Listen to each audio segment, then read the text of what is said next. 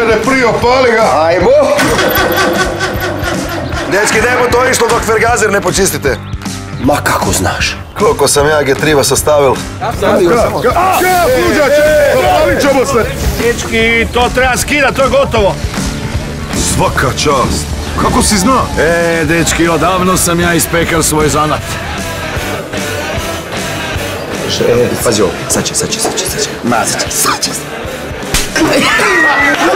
Kako si znao? Bjelovarski Kazanova radi ovo već godinama.